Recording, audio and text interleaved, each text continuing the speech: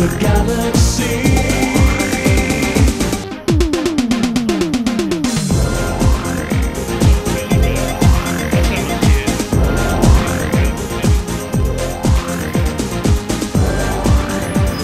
uh, local oscillators in here and um, and the digitizer. So the, the analog signal that comes from the LNAs, which is amplified, um, is basically fed into the 2 gigahertz passband that's then digitized private back to the quarter which is roughly 2 gigahertz. The turret, um, we've got um, 3 centimeter, uh, 3 millimeter, 7 millimeter, permanent installation. It's a permanent installation capability of this. Eight. The dream of dreams. No one gets it. Okay. Ranges three across. Yeah. yeah. So when they're needed, uh, there's a there's a, a radar in there basically, which is the switch, which is the phase center.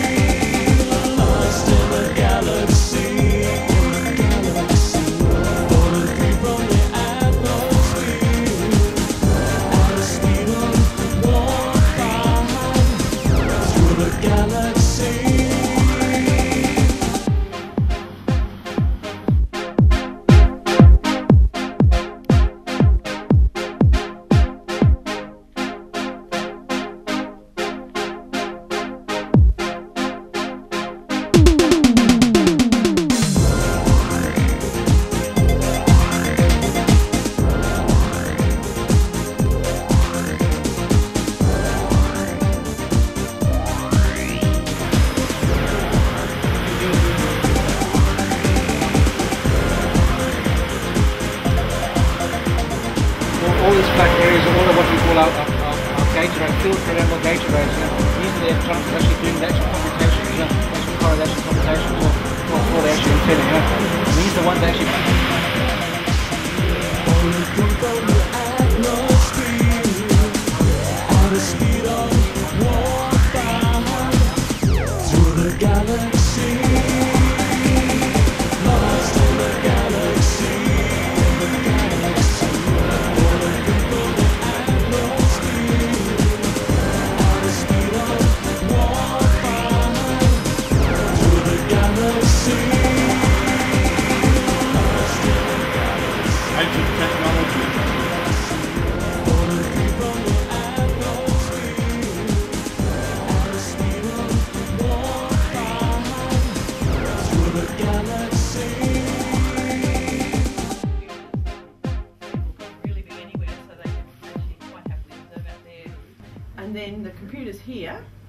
control, you control where the antennas are pointing and what's happening from here. And they set up a file that they call a schedule file, which has information like where to point, how long to point at that source, what to do with it, and what frequency to look at. And that's what we do. We take a slice and wait for the Earth to rotate. Another, take another slice and wait for the Earth to rotate. We take a slice for 10 seconds and wait for the Earth to rotate. And after 12 hours, I mean, this is simplification really, vastly simplified. But you add up all the bits and you, so what, this is why we've got the antennas in a long line. Mm-hmm. It's so that we can add up all the bits as you go around. The thing is that if you, I don't know whether you guys have ever been to Parkes. Have you ever been to Parkes? It's big. And you can see this garbage here.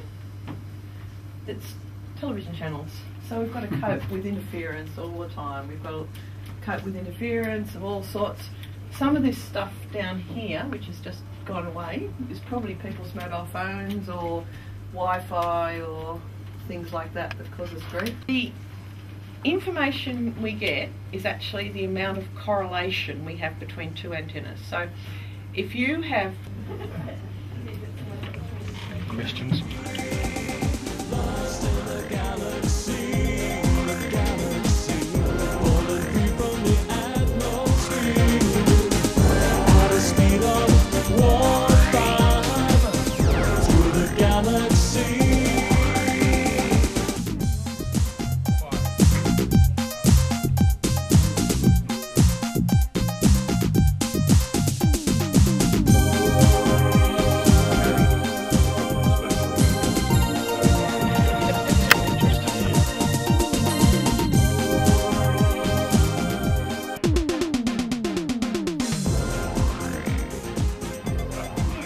Book.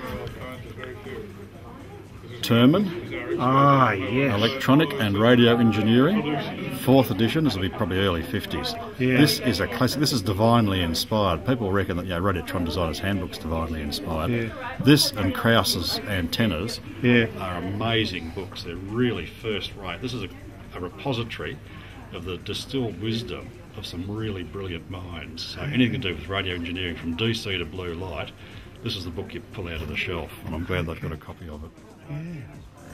Gee, Easy what's it's in it. All good analog, analog electronics, the way God intended electronics to be. Go to a nice page with some circuits and yeah, an bipolars. Oh, look at that. There you go. Ah. Goodness, it's even got thermionic in it. That's a bit scary. I didn't think it had thermionic stuff in it. Uh, oh, digital pulse counting. That's uh, getting a bit digital. Yeah, here we go. Infrared circuits.